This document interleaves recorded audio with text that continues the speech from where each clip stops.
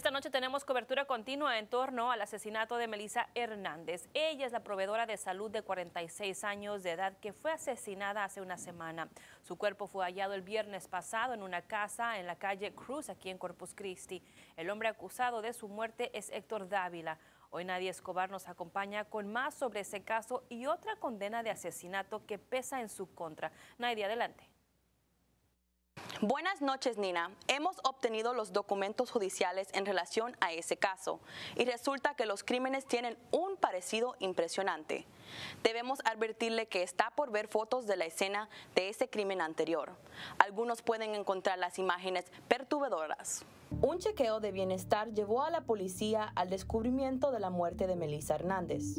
La declaración jurada de arresto indica que Hernández había estado viviendo con Héctor Dávila durante uno o dos meses sirviendo como su proveedora de atención médica al domicilio.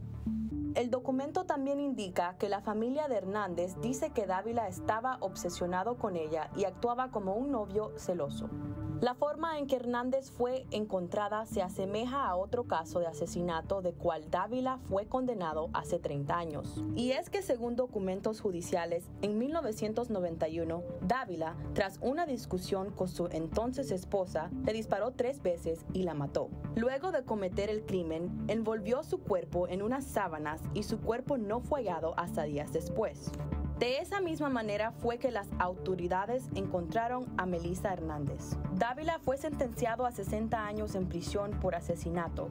Sin embargo, salió en libertad condicional en noviembre de 2018, luego de cumplir solo 27 años de la sentencia.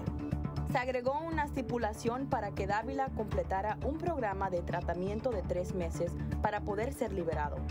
El juez en su caso de 1991 solicitó que Dávila obtuviera ayuda psiquiátrica mientras estaba en prisión, pero no está claro si eso sucedió. Dávila es acusado de asesinato por la muerte de Melissa Hernández y está actualmente detenido en la cárcel del condado. Reportando para Telemundo Corpus Christi, Naidi Escobar.